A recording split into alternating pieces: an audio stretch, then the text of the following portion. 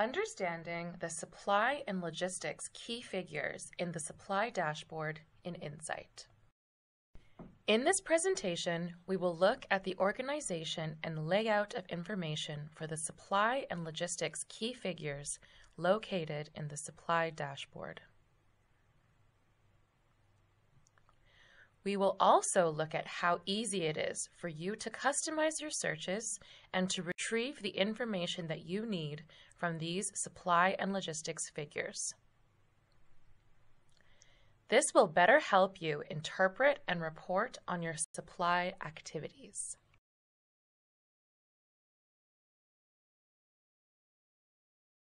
When you access the supply dashboard in Insight, the supply and logistics key figures for regions appear below the Supply Key Figures tab in the main header menu.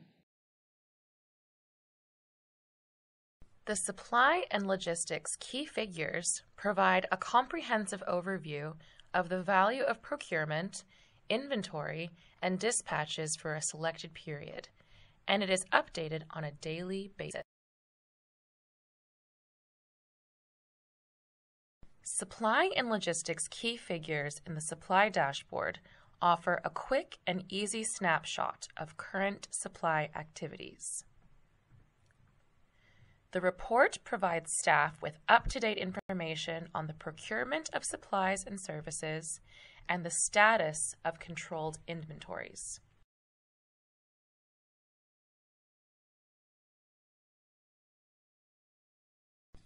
At any given time, the supply and logistics key figures indicate how much the country office has procured, how much stock it moved, and how much is in its inventory.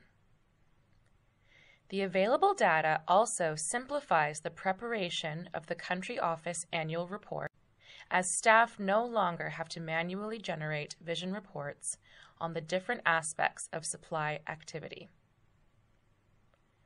Let's see how this information is organized. The first thing to recognize is that the information displayed addresses three related aspects of the supply activity. Think of these three perspectives as having an overview of the total value of your procurement, the total value of goods and services received, and the total value of supplies moving through your controlled warehouses. Let's look more closely at each one.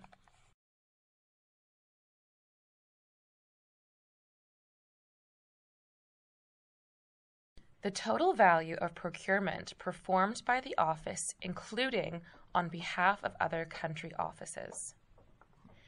You should note that the total value of procurement is broken down into two subtotals with the associated details. The subtotals are highlighted by the gray boxes. The total value of procurement actioned by the office in the given period is the sum of these subtotals. This includes what the office has procured itself, but also what it may have procured on behalf of other offices. In the case of Angola, it had not procured anything on behalf of another country office, so the report shows no data in these fields. However, in the case of Ethiopia, it has procured on behalf of other offices, and it is reflected in its breakdown. By adding up the two subtotals, you have the overview figure of the procurement actioned by your office. The total value of the supplies and services procured to be received by the office. This is further broken down into four subtotals. The value of programmatic supplies, of operational supplies, of services, and of international freight. For your convenience, Notice that programmatic supplies are further distinguished by those channeled through program funding, those channeled through procurement services funding, and those funded by Gavi. The appearance of the value of the international freight gives you the complete and immediate picture as it relates to the value of supplies received.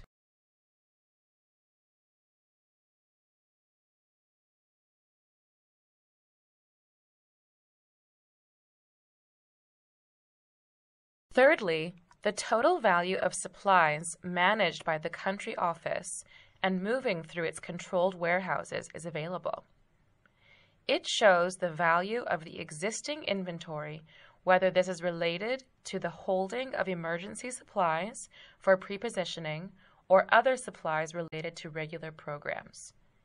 It also shows the value of dispatches from any controlled warehouse at the time of the report.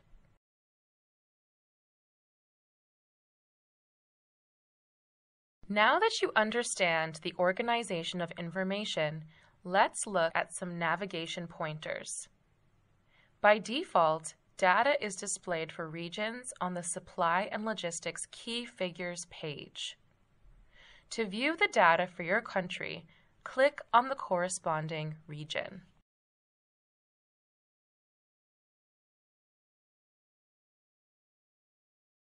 The country names appear in the top header of the spreadsheet. The corresponding country data appears below in the vertical column. This is the information for that country office for the specified reporting year.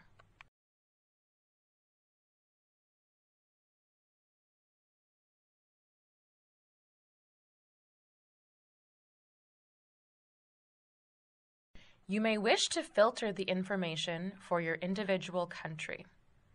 To do this, you may use the Parameters menu. By default, you will notice that all countries are selected in the Parameters menu. Uncheck the Select All option and then select the country of interest and apply your query.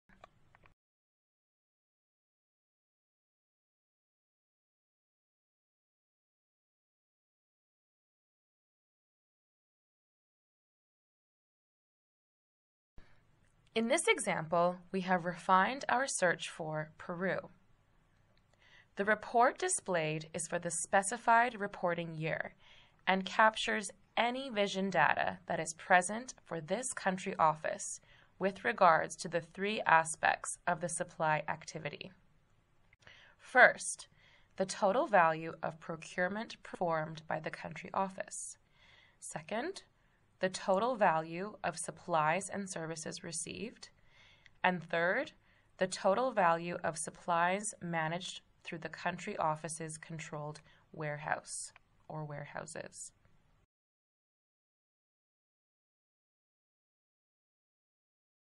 At the top of each page in blue, the Actions drop-down menu will allow you to conveniently download, print, export, and share the report in a number of formats. Select the option that is most relevant to you and your needs.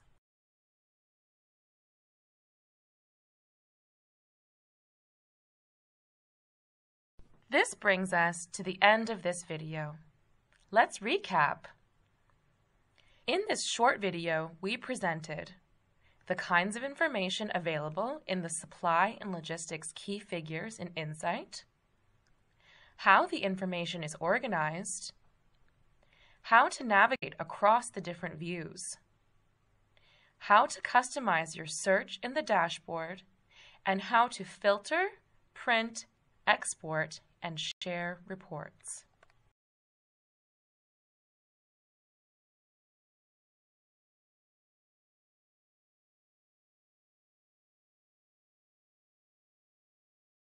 As with other modules, the supply dashboard in Insight has automated the extraction and reporting on key data points for UNICEF staff.